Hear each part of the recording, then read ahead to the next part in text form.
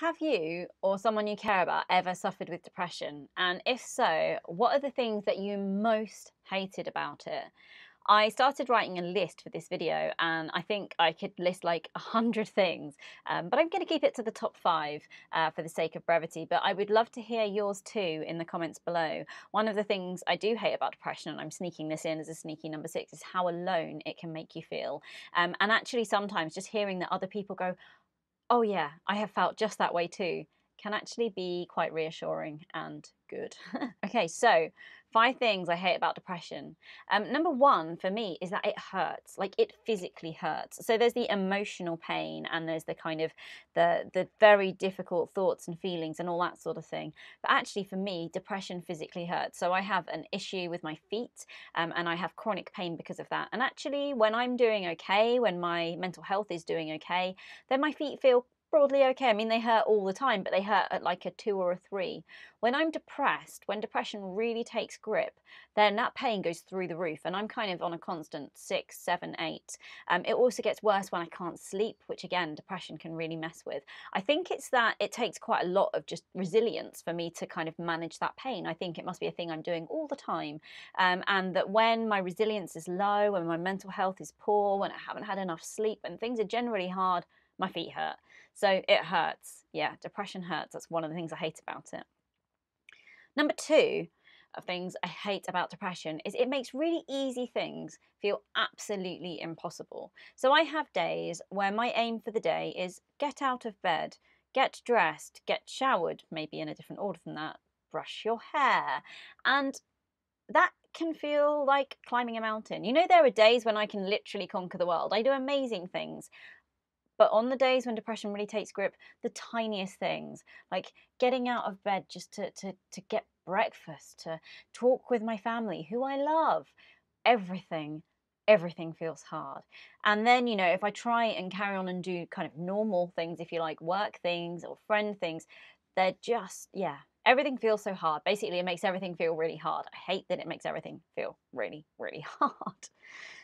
Number three, which is kind of somewhat linked to number two, is that depression makes it really hard to do the things that you know will help you. So, for example, I know that if I get up and I get out and I walk my dog, I will feel infinitely better than before I did that. However, when depression really takes grip, getting up and out and walking the dog is whoa, really hard really, really hard. Again, I know simple things taking a shower, putting on clean clothes, that'll make me feel better. Can I do it on a really, really down day? Not always, no. And that's really hard because you end up in this cycle of kind of beating yourself up because actually you think, well, why can't I do the things that I know will make me feel better? They always make me feel better. I've written myself a, you know, help myself on a down day list and it's right there, but I can't do it. And so then you think, well, why can't I do it? I'm so stupid. I'm so, you know, and, and yes. And so it continues. Um, and so there's this, yeah, really, really, difficult cycle. I know it'll help.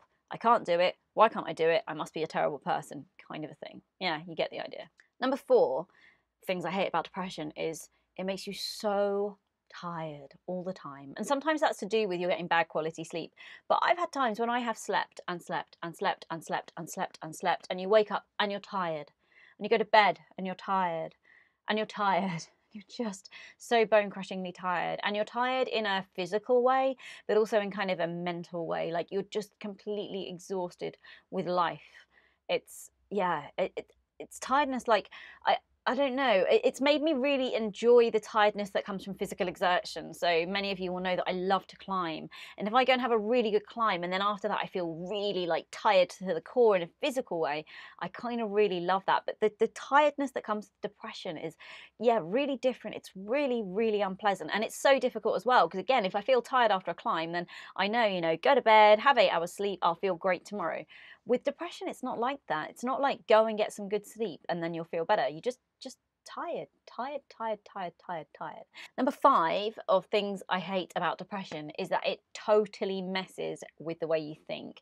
It can make you really kind of interpret things in a really negative way. It can make you kind of catastrophize about things. It makes you think that people are judging you in a certain way. It makes you judge yourself in the wrong way. You're basically, you, you kind of can end up really turning in on yourself and really over analyzing everything. And maybe that's partly for me about where depression and anxiety sort of cross over. But that kind of, yeah, really thinking everything's my fault and I can't do anything right. I'm worthless. I have no future. I'm a failure. Everything, you name it, those thoughts are going on. And even when someone tries to help to reason with you, it just doesn't touch at all. And you're constantly kind of listening out for uh, not in a conscious way, but you're subconsciously listening out for things that back up your view of the world and of yourself, this hopeless being. Um, and you hear things all the time that seem to back that up. But any good stuff just flies straight by. You just don't notice it. You kind of, yeah, got these faulty thinking patterns, these cognitive distortions that mean that, yeah, your thinking is wrong and you're finding things that back that up. Uh, all the time, and very little that can dispute that because you're in this bubble that's impenetrable. So yeah, messes with your thinking, and I hate that. And that also kind of yeah can feed this cycle of, of difficult thoughts, feelings, behaviors, and make it really really hard to sort of break out. So yeah, five things I really hate about depression. This feels like quite a negative video, and um, I've got plenty of videos about things that you can do to to help yourself, understanding more, and that kind of thing.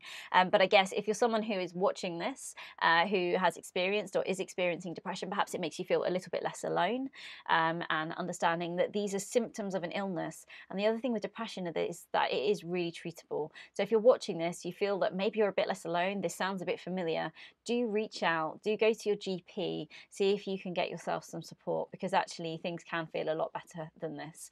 Um, they don't have to feel this way. Even just talking to the people around you can be a really good starting point. But there are really good therapies, really good medicines available. So yeah, don't suffer in silence. And if all else fails, um, pick up the phone or go online and speak to the Samaritans. They're absolutely brilliant if you're struggling. Okay, five things I hate about depression. I hope it was helpful. Bye.